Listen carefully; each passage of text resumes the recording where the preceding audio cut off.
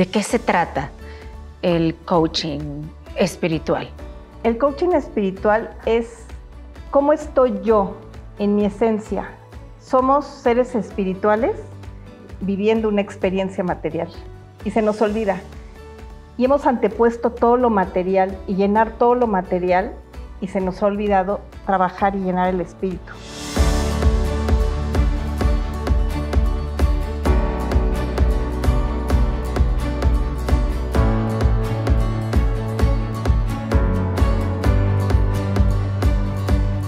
Amigos? Adriana Gallardo una vez más dándoles la bienvenida a este espacio, este espacio que hoy en especial está lleno de alegría, de paz, de amor, de una energía increíble porque tengo, tengo una invitada que bueno, una invitadaza de lujo. Ella es una coach de vida, ejecutiva y espiritual. Ella es mejor conocida como la artesana de la alegría, Nayeli Guzmán. Ah. Bienvenida, amor, ¿cómo Hermosa, Muy bien, gracias a Dios. Agradecida, bendecida de estar aquí hoy con tu programa hermoso. Muy honrada de estar aquí juntas. Gracias, Porque gracias. desde el cielo así lo dijeron. ¿Verdad que sí? Amén. Así es. Cuéntame, ¿Por qué la artesana de la alegría? Qué bonito nombre. Qué linda. Me encanta ahorita que empezábamos, que decías coach, ¿cuántos coaches, no?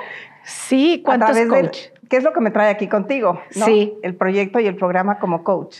Y como coach me clavé siendo coach y me dediqué a ser coach y me transformé en siete diferentes tipos de coach, ¿no? Y de repente me estorbó. Me estorbaron los títulos de coach porque pues hoy hay coaches hasta para hacer sándwiches, ¿no? sí, es cierto. Lo quiero tocar como muy chistoso, pero es un tema muy serio, porque el coach tiene una misión específica para la transformación y la renovación del alma, del alma del ser humano que tenía que estar listo para esta época, para este tiempo. Y se prostituyó, se prostituyó la misión de alma, porque ser coach es una misión de alma. Y entonces yo hice todo un resumen y dije, de todo el coach ejecutivo, ontológico, espiritual, internacional, de vida, todo mi cóctel que me tomó 15 años prepararme como coach, soy quizá de las nuevas, las que, las que primero empezaron siendo coaches. Me resumí todo y dije, yo soy la artesana de la alegría. Porque eso soy, porque mi vida me ha llevado a hacer eso y porque eso soy desde que llegué a este planeta, ¿no? Porque es un arte, porque es, porque es de todos los días, porque la alegría es la frecuencia que hoy nos requiere el universo. Lo que nos conecta. Y para poder estar en la etapa que estamos viviendo ahorita, el momento tan importante que la humanidad está viviendo en este momento, que hay quienes dicen, ay, no es que no está pasando nada. Y yo digo, no, no, no has despertado, no te has parado de tu cama, ¿no? Porque aunque no pase nada afuera, a todos se nos está transformando nuestro universo interior. Aquí puedes ver ¿no? toda la fusión del coaching espiritual, que es el que más me llama y el que más me gusta.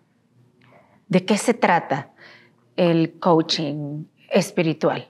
El coaching espiritual es cómo estoy yo en mi esencia. Somos seres espirituales viviendo una experiencia material y se nos olvida y hemos antepuesto todo lo material y llenar todo lo material y se nos ha olvidado trabajar y llenar el espíritu. Y va antes. Nos los dejaron muy claro, buscad primeramente el reino de Dios y todo lo demás se os dará por añadidura. Incluso el éxito, la abundancia, que no es lo mismo que la riqueza, la abundancia se manifiesta cuando en tu interior has logrado este estado de plenitud, de gozo y se llama alegría. Y no tiene nada que ver con la felicidad. No. ¿Cuál es la diferencia entre felicidad y alegría?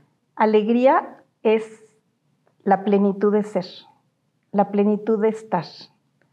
Es la chispa divina de la conciencia que yo tengo, que soy creada a imagen y semejanza de mi Padre y Madre divinos, y que estoy aquí para gozar, que la vida es un regalo, que toda esta filosofía de creencia, de carencia, de lucha, de, supervivencia, de ambición, de tener que ser más que el otro, es falso. Yo no puedo ser más que nadie, yo solo puedo ser yo más yo, más yo, más yo, más yo, cada día. Sí. Y ahí está la magia, y ahí está la riqueza. También hay una... ¿Y la, y la felicidad? La felicidad ¿Qué es es? pasajera y es condicionada. Y la felicidad siempre lleva como contraparte la infelicidad. La felicidad siempre está construida en base a expectativas, a lo que yo quiero que pase. Sí. La felicidad depende de que si la vida está sucediendo como yo quiero que pase y tengo, y me hace caso el hombre que yo quiero que me haga caso, Sí. y me invitan a donde yo quiero que me inviten, y tengo el guardarropa que yo quiero, y el coche que yo quiero, y la casa que yo quiero, y vivo donde yo quiero, y viajo donde yo quiero, y todo lo que yo quiero sucede, estoy súper feliz. Claro. Pero si no se da, estoy súper triste, y estoy deprimida, y estoy colapsada.